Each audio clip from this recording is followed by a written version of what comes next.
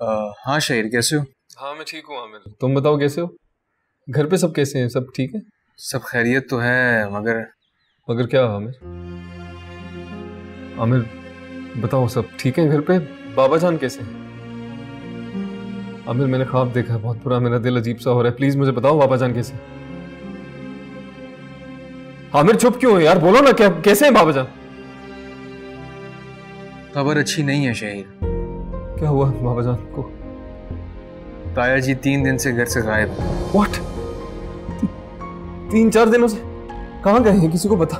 क्या हुआ क्या? किसी को बता कर गए हैं? किसी को कुछ नहीं पता शहीर रात के टाइम पे न जाने ताया जी कहाँ चले गए थे। हमें तो अगले दिन सुबह पता चला है कि वो नहीं है लगता तीन दिन से गायब है बाबा जान। किसी ने ढूंढा नहीं क्या उन्हें? तुम लोग क्या कर रहे हो? मैं और आजर हर जगह ढूंढ चुके हैं शहीर हर हॉस्पिटल में हर रिफाई इदारे में हर जगह देख लिया ताया जी कहीं नहीं है। पुलिस में भी कंप्लेन करवा दी हमने। अब क्यों ढूंढ रहे हैं भाईजान? वो तो चाहते ये थे ना कि उनकी बीवी और उनके अलावा कोई ना रहे घर में। शजीन बेचारी पर भी इल्ज़ाम लगा के उसे घर से बाहर निकलवाया। बाबा जान के साथ भी यही किया होगा यार। क्या? शहजीन पे चोरी का इल्ज़ाम लगाया? सच कह रहा तुम सोच सकते हो तुम भी तो जानते हो शहजीन को बचपन से। बाबा जान उसकी सारी ख्वाहिशात पूरी करते थे उसके मुँह से निकलने से पहले। वो कैसे उनके अलमारी से पैसे चोरी कर सकती है यार? ऑब्वियसली यार। वो भला ऐसा क्यों करेगी? मगर ऐसा हुआ है ना आमिर? नाजी ने भाईजान के सामने इल्ज़ाम लगाया है शजीन पे। और भाईजान ने हमेशा की तरह बिना सोचे बिना समझे सब कुछ मान लिया।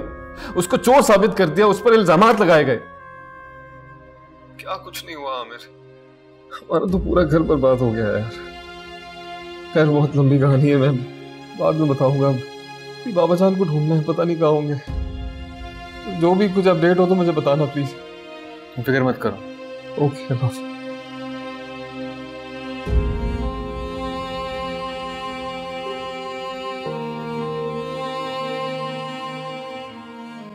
सब कहते हैं शहीर को मोहब्बत नहीं थी बाप से इसलिए छोड़कर चला गया।